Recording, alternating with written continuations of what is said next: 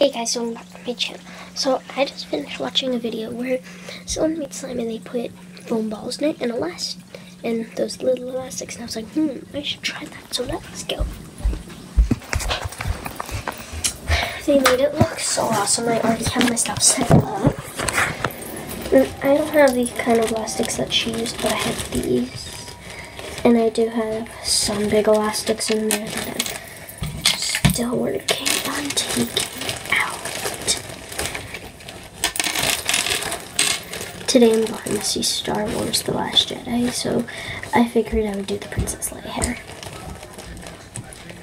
Just for something to do.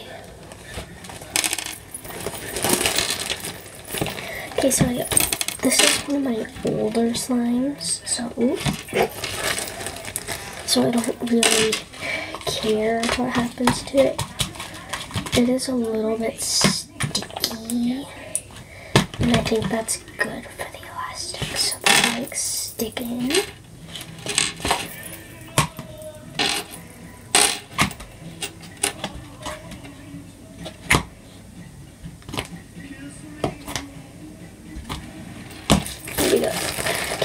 Go. I never use these tiny elastics. I did when I was tiny.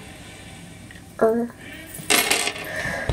But now that I'm older, I use more of the big elastics because I have more hair.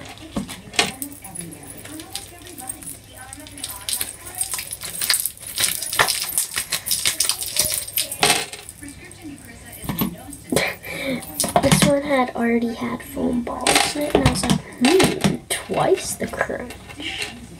I mean, not twice it, whoa. Double the crunch. It's so